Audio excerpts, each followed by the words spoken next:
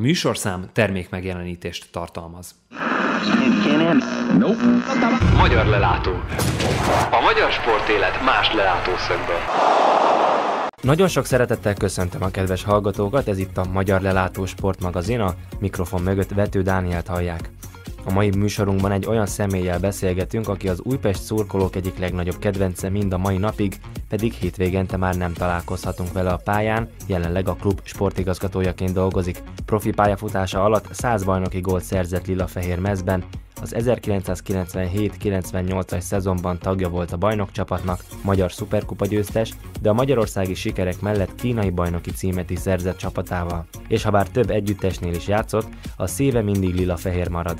Ezek alapján már könnyen kitalálhatták, hogy a mai vendégünk Kovács Zoltán, az újpesti sportigazgatója. Köszöntelek Zoli a Magyar Lelátóban.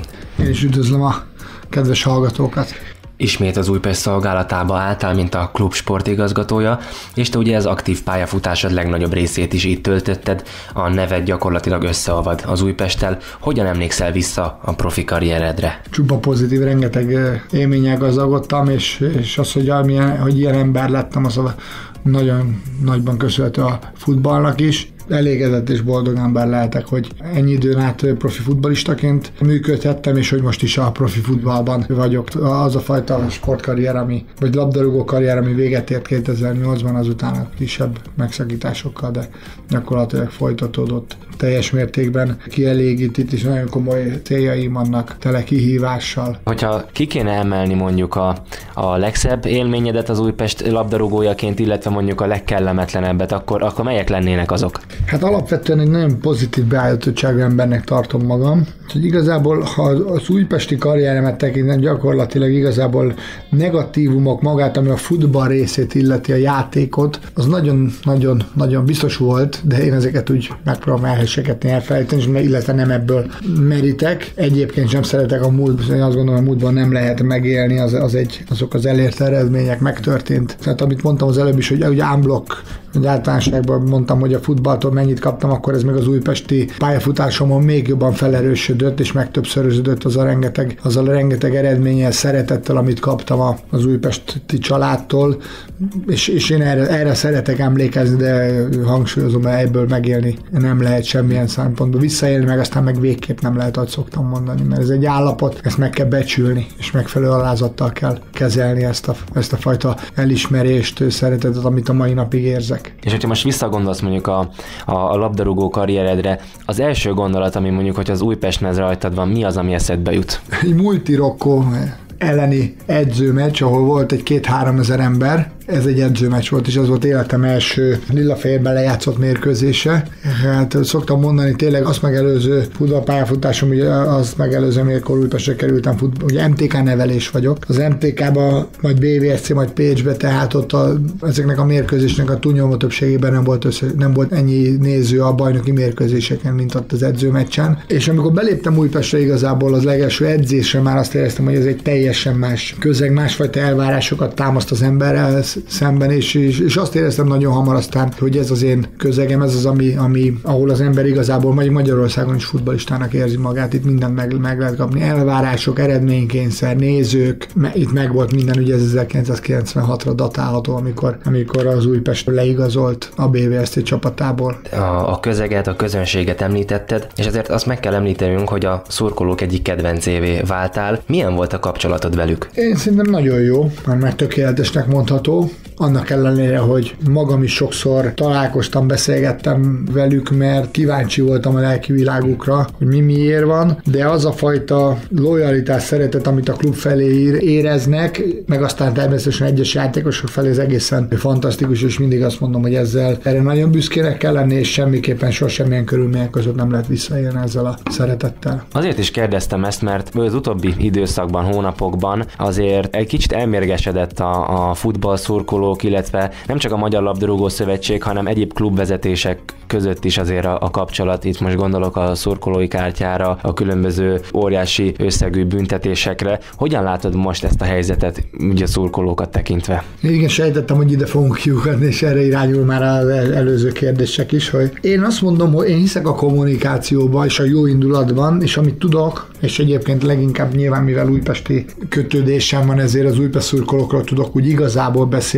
Bár amikor Diózsérbe dolgoztam, ott is csupa pozitív, szinte csupa pozitív tapasztalatom volt, de én hiszek a kommunikációban, és a nyílt kommunikációban, nyílt őszinte kommunikációba. Azon szerintem nem lehet vitatkozni, hogy a lelátókra, lelátókon rend kell, hogy uralkodjon, és ebben belefér az is, hogy igenis belefér, hogy az ultrák rendkívül jó hangulatot teremtsenek a, a stadionban, amivel viszont nem fér bele nyilvánvalóan a verekedés, az erőszak, és én azért mondom itt az újpesti viszonyokról beszélek, mert én itt nagyon régen tapasztaltam ilyet, tehát itt nyugodt ide jöhetnek nyugodtan a, a, a gyerekek, családok, én tapasztalatból szoktam beszélni, nem a hallomásból. Nyilván van egyfajta olyan szurkoló, és ez nem az ultrákos kötető, hogy ámblok a, a magyar stadion, vagy az Újpest stadionjában is, hogy nyilván van egyfajta verbális hát, erőszak, nem biztos, hogy ez a helyes kifejezés, hogy csúnyán beszélnek a láton. Igen, ezt is meg lehet változtatni, de nem erőnek erejével, az valószínűleg ez már a, a általános iskolába kezdődik meg a családokba, hogy így beszélnek a láton, és itt nem ez, és azt nem lehet az ultrákra fogni, mert a VIP is ült tőlem 3-4 méterre olyan ember, aki úgy beszél, hogy legszívesebben kivezettetném. És hogy soha lehet, hogy valószínűleg soha senkit nem, senki nem fogja megbüntetni, miatta nem rónak ki komoly büntetést a, a klubra, pedig ő, őt is le, valahogy felnőtt, valahogy nevelték, valahogy az szocializálódott, nyilván ebben a közegben, és ő úgy gondolja, hogy a VIP-be bőrfotelben ülve ezt megengedheti magának. Én szerintem nem. Nagyon komoly stadionokba is jártam a szerte a világba, és ott én ezt nem tapasztaltam, és ezért mondom, mindig hangsúlyozom, hogy hogy ez egy általános probléma, és nem lehet leszűkíteni úzrákra. Hogyha vannak olyan elnevezésű csoportok, hogy huligánok, akik azért a bajt keresik, azoknak valószínűleg tényleg nincs hely a, a stadionba, és ez, ez klub, klub hovatartozástól függetlenül el lehet mondani, mert én is nagyon szívesen hozom ki a, a gyerekeimet, a, vagy a családomat a, a stadionba, mert örülök, ha, ha a fiaimról beszélek, nyilván lányom nem szerencsés, ha nem biztos, hogy örülnék a futballista lenni. Persze ezt választjuk, ha legyen az, de egyelőre nem, de a fiaim fotballoznak, én örülök, hogyha vannak próbálnak tanulni,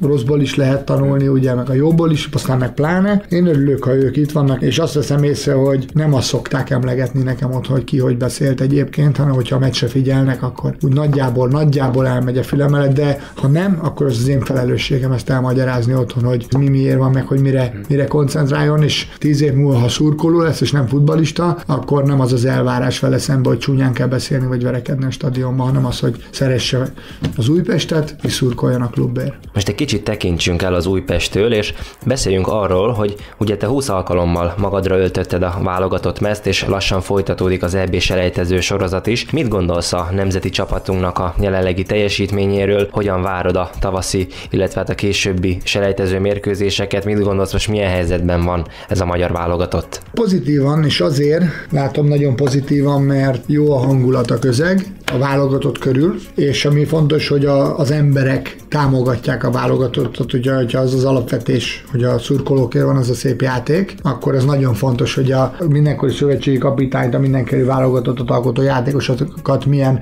milyen hangulat, milyen közeg veszi körül, és most ez nagyon pozitív, amiben nyilván lehet meríteni, és erre lehet építeni. Ez lehet érezni a, a, a finek elleni találkozón is, de még utána az oroszok ellen is, hogy annak ellenére, hogy a csapat kikapott egy nagyon jó erőkből álló csapat ellen, mivel volt, volt eredmény, és Dárdai Pál nem a levegőbe beszélt, és a játékosok nagyon pozitívan viszonyultak. Ez a pozitív hangulat, ami az újságírókra is kiadott, kiadott a szurkolókra, ez nagyon fontos, hogy ezzel a támogatottsággal ilyen háttérrel tudja nekivágni a válogatott a, a 2015-ös selejtező sorozat folytatásának. Tehát a 2015-ös mérkőzéseket is ilyen hangulatba tudja megírni, mert mert ennélkül nagyon nehéz lesz. Így is nagyon nehéz, ugye mindig szokás szerint természetesen túl magasak az elvárások mindenki részéről, de így, így könnyebb megugrani a lécet, átugrani a lécet. Tudom, hogy nagyon nehéz kérdés, de hogyha most választani kellene, szerinted ki fog jutni a válogatott, vagy nem? Én szerintem igen.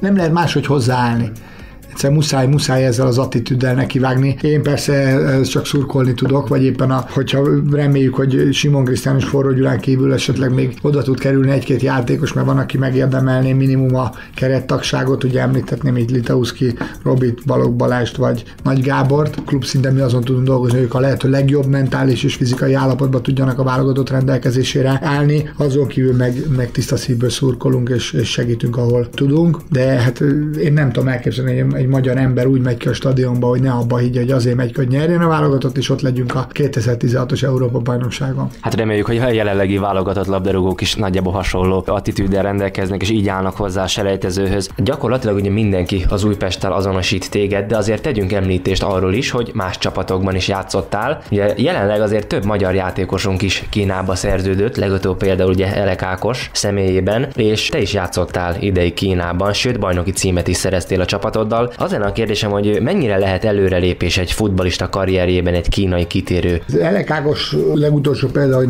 Kínába ment. Ákos amellett, hogy egy nagyon jó ember és nagyon jó futbalista, ezt a vállal, ezt most már megint az utóbbi egy-másfél évben újra bizonyítja, ugye egy viszonylag nehezebb időszak után, és ennek nagyon örülök, mert megérdemli. A szimpatikusá tesz az egészet, hogy az Ákos nem kertelt, nem, nem, nem elsősorban a szakmaiságát emelte ki ennek a túrának, bár azért halka hozzáteszem, hogy nincs mit szégyelni a kínai labdarúgásnak, ugye, és ezt testközelből mondom, vagy megtapasztaltam, és nyilván azóta, ugye 2004-ben voltam ott, tehát azóta 11-10 év eltelt, azóta valószínűleg nem visszafelé fejlődött, mutatják ugye az igazolások is, hogy akár, akár világbajnok edzőt vittek oda, vagy akár ugye nem akármilyen futbalistákat, Didier Drogbára vagy Nikola Anelkára lehet gondolni, és hogy milyen pénzek mozognak, de Ákosnál azt teszem, nekem még nagyobbat nőtt a szemembe, hogy azt emelte ki, hogy ha lett volna neki egy Bundesliga ajánlata, lett volna egy Premier League-es ajánlat, akkor valószínűleg oda megy még kevesebb pénzért is, viszont Kínába nagyon megfizetik, és ezért megy. Biztos vagyok benne, hogy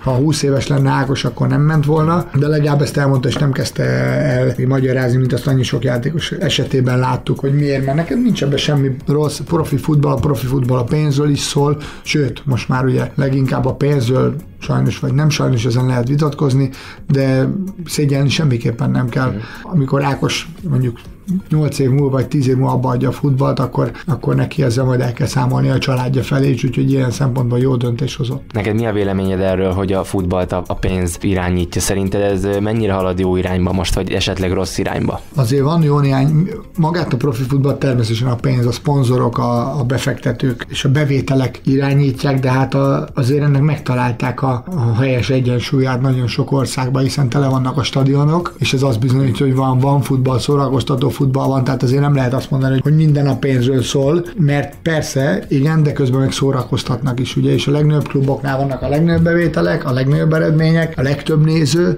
és a legjobb foci is. Mm. És addig, amíg ez így van, addig, addig ezt nem nagyon nehéz kritizálni. Inkább a mi szintünkön itt Magyarországon az a baj, hogy itt futball még nincs, még nem abban, nem is, talán még nem is mennek megfelelő irányba folyamatok, vagy nem mindenhol, de már az attitűd a játékosoknál, vagy az ügynököknél az, az hasonló, miközben a produktum azért az még, én most nem angol szintről beszélek, hanem csak egy közép-európai szintről, sem közelíti meg azt.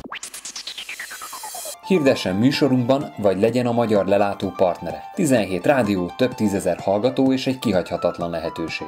Garantáljuk, hogy az ország egyik legkedvezőbb hirdetési ajánlatát a Magyar Lelátó nyújtja. Érdeklődni a hirdetés kukacmagyarlelátó.hu címen, vagy a 0620 2250-es telefonszámon lehet. Várjuk jelentkezését!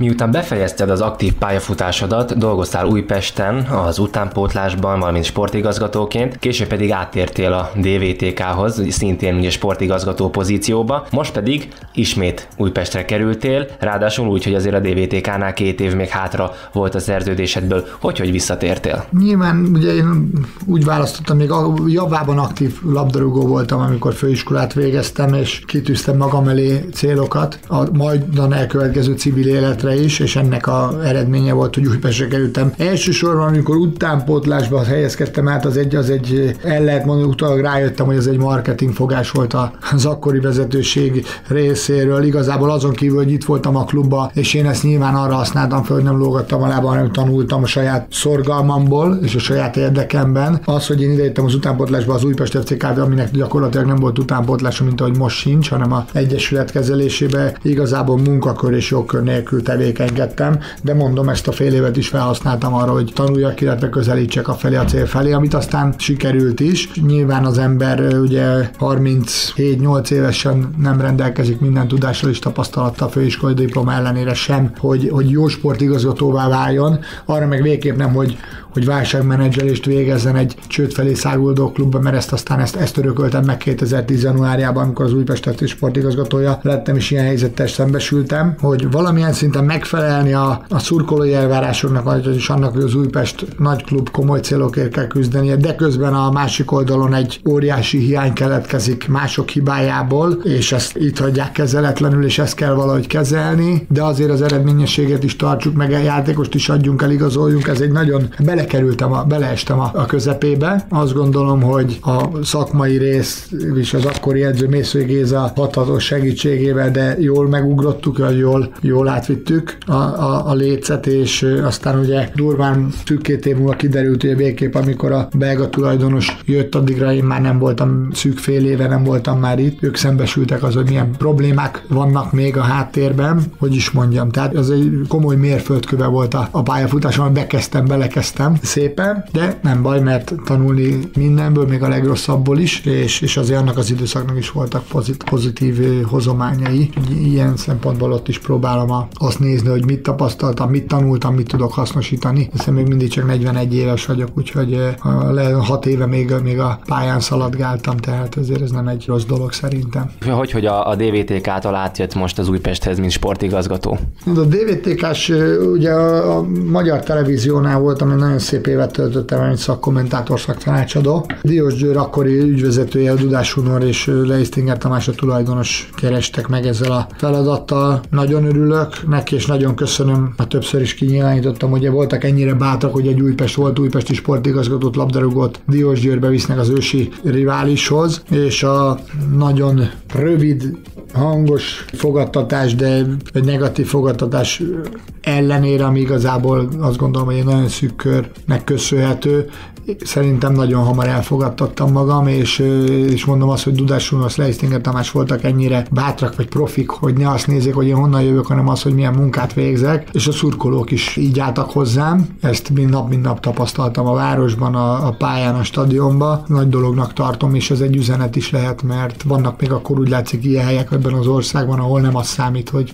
ki honnan jön, hanem hogy mit csinál, és ilyen formán a, a Diósgyőri közegnek, ami egyébként is egy nagyon különleges, pozitív légkörrel ajándékozza meg a, a, a csapatot. Ilyen formán abszolút nagyon hálás lehetek Kolcnak vagy a Diósgyőri szurkolóknak. De ha jól tudom, akkor elvileg még ugye két év, akkor még hátra volt ugye a, a szerződés alapján, mint ugye DVTK sportigazgató, és akkor ő végig is visszajött Újpesthez. Igen, Ennek... E, ez igaz, eddig rendben volt, két éven volt, még én kezdeményeztem a, uh-huh. a szerződésbontást március-április környékén, a téli átigazolási időszak és a bajnokság kezdete vagy újrakezdése után. Így éreztem jónak, voltak olyan dudásomra, vagy éppen Leistinger Tamással azóta is kitűnő kapcsolatom van, tehát nem szeretnék rébuszokba beszélni, arról sem viszont, hogy, hogy mi volt a, a, az igazi okkal, nagyon sajnálom, mert Tomislav Szivicsel is nagyon szerettem együtt dolgozni, ugye a Liga Kupa győzelem, vagy éppen az ötödik hely a bajnokságban, vagy a, vagy a Magyar Kupa döntő, ezek mind-mind olyan eredmények, amire szerintem mindig is, sőt biztos, hogy mindig is büszke leszek, és szerintem a, a város is nagyon, nagyon jó volt, szép időszak volt, egyáltalán nem zárom ki, hogy,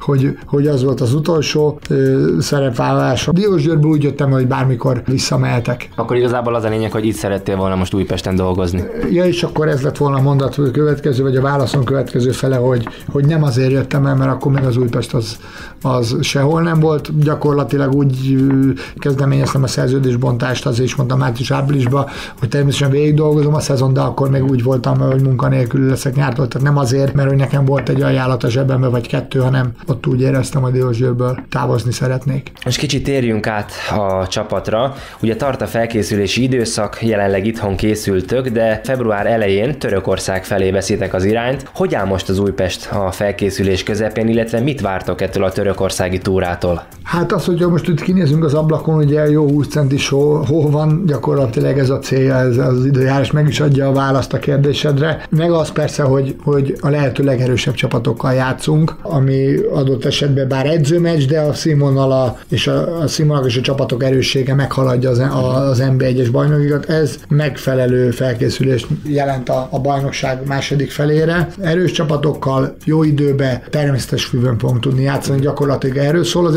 edzőtábor. Nálam még van egy olyan olvasata is, hogy nagyon szépen meg lehet csinálni a finom hangolásokat a pályán is, ami az edző feladata, vagy a szakmai feladata, de a szállodába is, mert ott lehet úgy étkezni, ahogy egy profi sportolónak mindig kéne, ott legalább tudjuk ellenőrizni, vagy legalább szemmel tartani, szépen belőni, hogyha valakinek híznia kell egy kilót, fogynia kell tíz dekát, egészségesen kell táplálkozni, ott ezt tudjuk ellenőrizni, aztán mindig azon reménykedünk, hogy ezt a játékosok megértik, hogy ezt otthon is lehet folytatni, ugyanúgy, mert az ő érdekük. Arról is tegyünk említést, hogy a felkészülést azért nagyban meghatározza, hogy milyen kerettel tudtok dolgozni. Ugye jelenleg több próbajátékos is szerepel nálatok, például Murai Márk, a Chilei Pinto, két montenegrói, Baosic, illetve Perovic. Róluk eddig milyen vélemény alakult ki, és mikor fogtok dönteni a sorsukról? Megfelelő hozzáállással dolgozik mind a négy játékos, és most szombaton az edzőmeccs után fogunk döntést hozni a, a sorsukról. Jól dolgoztak, nekünk olyan játékosokra van szükségünk, akik azonnal tudnak segíteni. Nagyon szűk a keretünk, kevesen vagyunk, de csak olyan játékos fogunk leigazolni, aki tényleg hozzá tud nedékunkhoz, és nem, nem csak egyel vagy kettővel többen leszünk, hanem, hanem valós erősítés jelentenek, és nem kell leigazni. Persze szerencsés lenne, hogyha azonnali erősítés, olyat is szeretnénk, de befektetni a középtávon is a, a, a, a klubba, tehát pont az egyik játékos, a, a Mihály Loperovics, ő ugye egy 17 éves labdarúgó, most mhm. volt 18 januárban, ő például egy olyan játékos lehet, aki ha meg tudunk egyezni vele, és ha úgy döntünk, akkor aki, aki egy komoly, komoly érték lehet. Ugye több játékos azért távozott a klubtól most így télen, ugye Dimitrovic ugye a Csártomba, akkor Roho a Century-denbe folytatta tovább, ezen kívül ugye Embomával is szerződést bontottak. Most jelenleg mi az átigazolási stratégiátok, tehát hova, milyen posztokra szeretnétek mindenképpen igazolni játékost? Nézd, hogyha a vezetőedző és én döntetek ebbe százszázalékosan, és az anyagi forrásai megvannak, akkor én, én az én tapasztalat az, hogy ebbe az utóbbi három név nagyon sok olyan játékos volt itt, aki, aki hálát adhat a Jóistennek, hogy Újpest ezt húzott fel, és ezt a fajta ajándékozási kedvet szeretnénk megállítani, és nem baj, hogyha valaki fiatal, de legalább legyen meg benne a potenciál, és persze a, a tévedés benne van, de ezt a fajta, a szű, szűrőt szeretnénk a szűrő szemeit szűkebbre venni, és azért szerencsés, hogyha mi tudunk ebben dönteni, és ezért is váltunk meg ettől az, az öt játékostól, mert az edzések is színvonalasabbak lettek attól, hogyha olyan játék, inkább legyünk kevesebben, de, de magasabb intenzitással gyorsabban tudunk edzeni, ez majd utána a mérkőzéseken is meg fog látszani. És te, mint sportigazgató, mennyire szólhatsz bele az átigazolásokba, tehát mennyire dönthetsz, mennyire van szereped abban, hogy milyen játékosok érkezzenek, illetve távozzanak az Újpesttől? Vétójogunk van az edzőnek is, és nekem is, de a döntő szó az a tulajdonos úrában is az ő pénze. Nyilván ugye mi azért vagyunk itt, hogy, hogy jót akarjunk,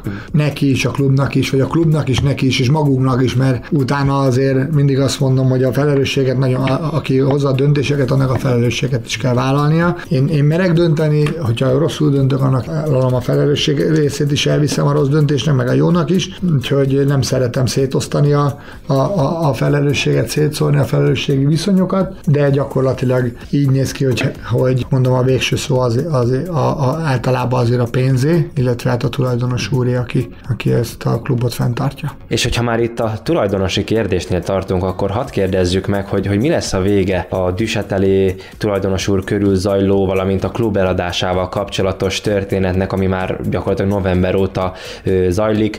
Most felröppentek olyan információk, plegykák, hogy a Győri Tibor személyében egy új érdeklődő akadt, tehát mi lesz végül az Újpesttel? Hát ez nem az én asztalom, hozzám a sportszakma tartozik, úgyhogy én erre nem, nem, nem szeretnék, és talán nem is tudok felelős választ adni. Győri Tibort ismerem, tudom, hogy egy nagy új szurkoló, jó ember, de én nem tudom, hogy hogy, hogy, hogy állnak ez, ha egyáltalán van valamiféle tárgyalás, ezt a tulajdonos úrtól kell meg, megkérdezni, mert ez tényleg az ő, ő felelős üzletember, ha el akarja adni, arról neki kell nyilatkozni. Mm-hmm. Vagy ha nem, arról is. Hát akkor viszont tegyünk még kicsit át magára hogy az Újpestre, illetve a bajnoki ö, pozíciójára. Ugye most a hatodik helyen fogja kezdeni a tavaszt. Mennyire vagy elégedett az őszi szezonnal? Ha játékot nézem, a mutatott játékot nézem, akkor, akkor elégedettek lehetünk, mert nagyon domináns, nagyon jó futballt játszott a csapat, támadó szellemben, ez igazából a kidolgozott helyzetek száma bizonyítja jobban, mint, mint, mint sem a, a, a rugott gólok száma, mert az nem sok, de ezzel szemben viszont kevés gólt is kaptunk, tehát a szervezettségünket sem éreti kritika. Ami miatt egy kicsit hiányérzetem van, az az, hogy, hogy nem állunk előrébb, mert a, a játékunk alapján állhatnánk, de a futballban ugye mindig meg lehet mindent magyarázni, ha meg nem, nem játszik, Úgyhogy én azt mondom, hogy a, ha, ugye mindig igen, aha, de be kell rúgni a kidolgozott helyzeteket, és ilyen, ilyen futballt tudunk játszani, akkor, akkor előrébb fogunk végezni, és itt jön az, hogy ami nagyon fontos volt ősszel, Nyilván ez nem csak szerencse is, de nem csak az, hanem a elvégzett munka is, hogy nagyon kevés sérültünk volt. Ez azért egy szűk keretnél nagyon fontos. És a tavaszi szezonra mi a célotok? Tehát mit várnál el a csapattól?